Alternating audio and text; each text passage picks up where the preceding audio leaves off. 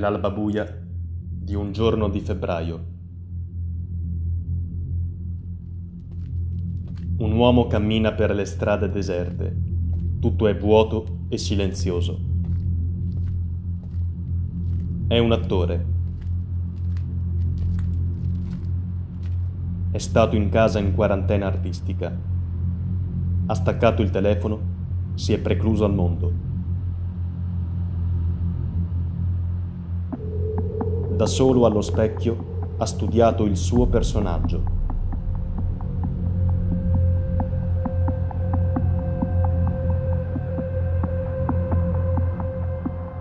Non ha sentito né visto nessuno per 40 giorni, non i colleghi, non il regista. Oggi è il giorno della prima. Sa di essere il più pronto, il più preparato. Vuole essere il primo ad arrivare a teatro siamo con Lillo Venezia, che è l'autore dell'estratto che abbiamo mandato in onda in questo servizio. Dopo ascolteremo anche le tue compagne, Sonia Soro e Verdiana Vono. E, mm, Lillo, niente, raccontaci un po' cos'è Vie di Fuga. Allora, intanto salve a tutti. Vie di Fuga è um, un modo per, um, per raccontare questa questa clausura forzata a cui siamo stati sottoposti per eh, giuste ragioni e, ed è un modo per eh, esprimere la nostra solidarietà a tutto il mondo del teatro e um, nel caso specifico del mio video in particolare la categoria degli attori che in questo periodo soffre particolarmente perché non ha um, la, la cosa di cui ha più bisogno, ovvero il suo pubblico. E come è nato questo progetto? Questo progetto è nato ehm, sotto la guida di Riccardo Frati all'interno del suo corso eh, di narrazione video mh, presso la scuola Yolanda Gazzaro di Emilia Romagna Teatro, nello specifico il corso che stiamo facendo noi, eh, ovvero quello di perfezionamento di drammaturgia internazionale. E originariamente dovevano essere dei racconti, eh, delle mini featurette documentarie a proposito del, mh, a tema degli autori e del festival uh, Vie, che poi purtroppo non si è potuto svolgere per intero, anzi mh, solo pochi spettacoli sono andati in scena. E, mh, l'idea di Riccardo, mh, secondo me molto, molto buona, è stata quella di riconvertire ehm, queste, queste, queste, pulsioni che avevamo elaborato per il festival ehm, e riadattarle alla situazione attuale eh, della, del lockdown. Quindi nasce così. Quindi avete fatto dei video racconti che di cosa trattano in linea generale? Linea generale sono di fatto nostra, le nostre individuali esperienze di questo momento di, di, chiusura all'interno delle mura domestiche. Ognuno di noi ha pensato sul, sul filo conduttore che fosse eh, te- il tema dell'evasione. quella che fosse la propria esperienza, insomma, come privatamente, individualmente abbiamo, abbiamo riflettuto su questo, su questo momento e, eh, e quali potessero essere queste vie di fuga per noi. Eh, Verdiana, abbiamo parlato anche con Sonia Soro e Lillo Venezia e i tuoi compagni e come loro vorrei chiederti cos'è mh, mm, per te in particolar modo Vie di fuga, il progetto che avete pensato e realizzato. Allora, eh, noi avremmo dovuto realizzare delle vie, non delle vie di fuga eh, per, per, il festival, che però è stato annullato come, come sappiamo, ahimè, e, e, quindi via di fuga è diventata un po' la possibilità di, di far sentire la nostra voce. Eh, la nostra, la nostra scontentezza no? rispetto, rispetto, a questa disattenzione che c'è stata nei confronti dello spettacolo e poter immaginare come, come uscire, se non altro mentalmente, da, da questa situazione di isolamento. E, ehm, che cosa che ti manca di più del teatro dal vivo, se dovessi scegliere qualcosa? Guarda, se, fatto, se abbiamo fatto, se abbiamo sviluppato quel, quel, quel video con Enrico, è proprio perché, vabbè, parlo per me, ma penso di poterlo estendere anche a lui. La cosa che mi manca di più è, sono gli attori.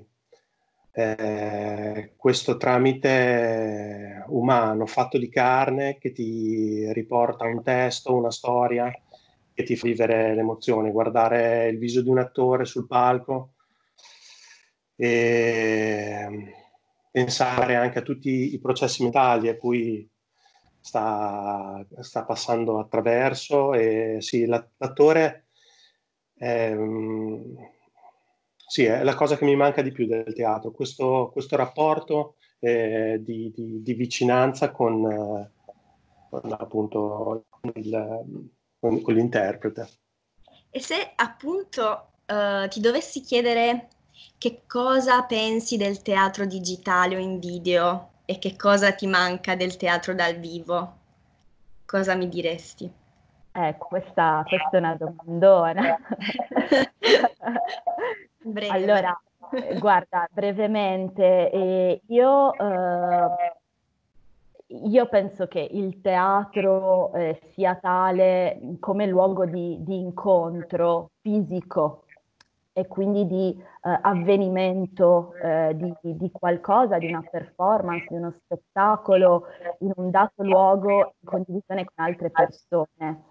Eh, l'online credo che sia nuova, un nuovo orizzonte, ecco, e, credo che sia, eh, possa essere un contenitore di memorie in questo senso, e nel momento in cui dovessero nascere dei progetti teatrali, credo che dovrebbero eh, adattarsi al linguaggio online nel momento in cui nascono proprio per un linguaggio online. Ecco. Eh, mi vuoi raccontare anche qualche altro video, racconto che ti è rimasto più impresso?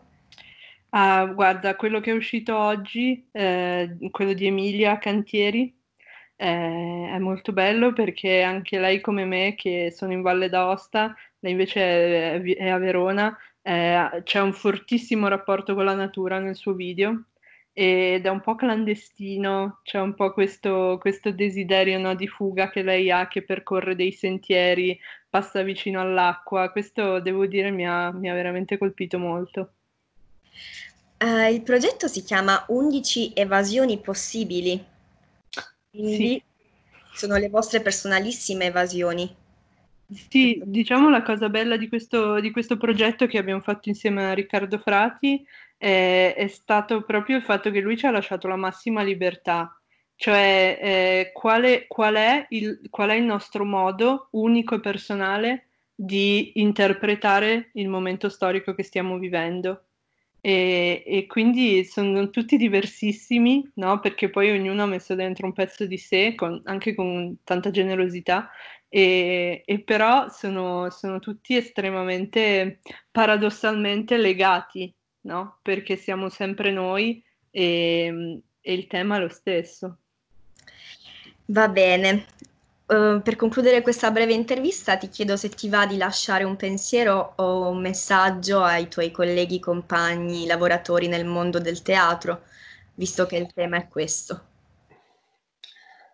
Um, come ti dicevo, io sono approdato al teatro di recente, eh, vengo dal mondo più cinematografico del video e, um, e quindi sto, sto ancora facendo questa transizione, che è una transizione emozionale Ehm, il cinema, a mio avviso, vive molto più di tecnica e, e l'emozione la vedi alla fine di un processo.